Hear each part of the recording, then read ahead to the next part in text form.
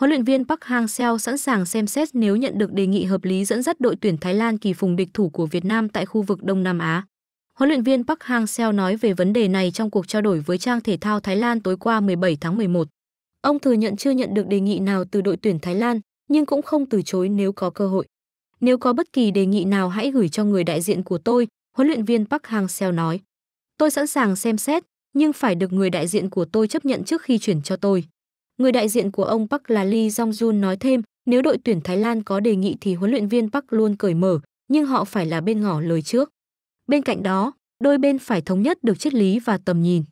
Khi được hỏi liệu có thể đưa tuyển Thái Lan dự World Cup nếu làm huấn luyện viên trưởng, ông Park không trả lời trực diện mà nhấn mạnh quan trọng đôi bên phải hòa hợp.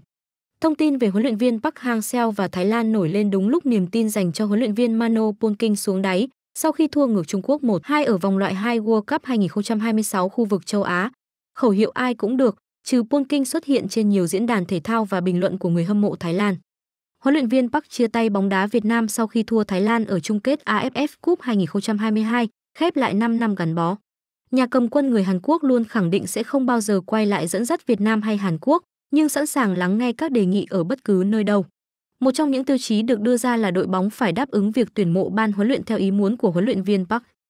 Huấn luyện viên 64 tuổi từng thừa nhận Thái Lan có những cầu thủ đẳng cấp cao nhất Đông Nam Á, nhưng khó phân định Việt Nam hay Thái Lan mạnh hơn nếu chỉ nhìn vào tỷ số.